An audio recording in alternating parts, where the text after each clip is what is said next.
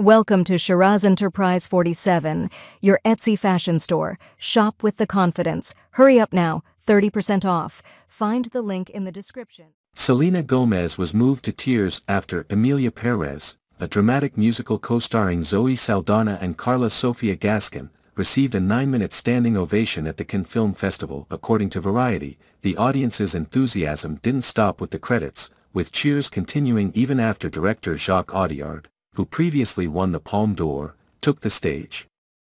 The film tells the story of Rita, Saldana, a lawyer entangled with a powerful drug cartel leader, Manitas, Gascón, who seeks gender-affirming surgery.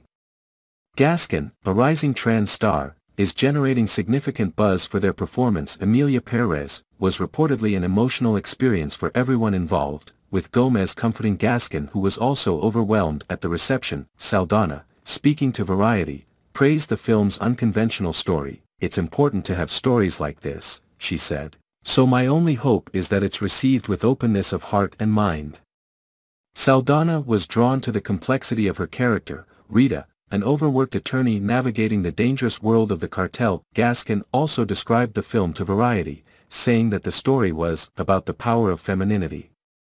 While the film demonstrated positive reception with the Cannes audience, critics have offered mixed reviews. Emilia Perez is a strong contender for the Palme d'Or and the Queer Palm Award, and is already one of the most sought-after films at Cannes. The film is a collaborative effort between French production companies Why Not Productions and Page 114, alongside fashion house Yves Saint Laurent, through Saint Laurent Productions. Film distributor Pathé, and France 2 Cinema, Pathé secured the rights to distribute the film within France and will be responsible for its theatrical release there.